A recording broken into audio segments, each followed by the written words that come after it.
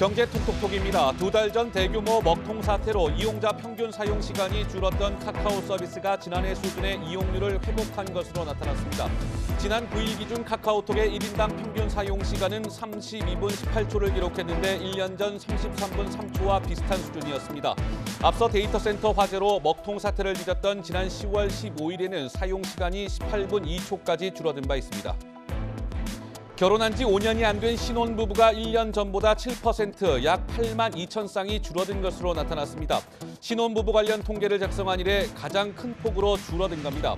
초혼 신혼부부 가운데 자녀가 있는 부부 비중은 54.2%를 기록했고 평균 자녀 수는 0.66명까지 떨어졌습니다. 특히 대출이 있는 신혼부부는 89.1%로 역대 가장 높은 비율을 기록했습니다. 내년에도 집값 하락세가 이어질 거란 전망이 나왔습니다. 주택산업연구원은 내년 서울 아파트값은 4%, 지방은 5.5% 떨어질 거라고 예측했습니다.